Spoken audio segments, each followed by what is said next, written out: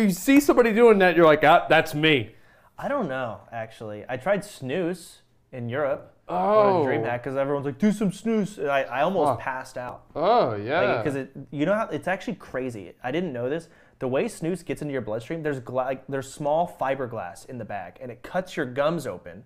That's why it kind of hurts when you first put it in, and it's injecting all of like the tobacco and stuff or whatever the fuck or nicotine into your body by uh-uh, cutting I'm you not- open. Uh, that's not. That's not. We're not. We're